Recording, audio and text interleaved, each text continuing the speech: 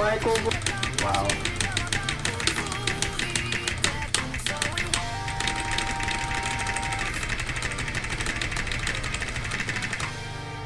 so fucking sad. Shit, dude.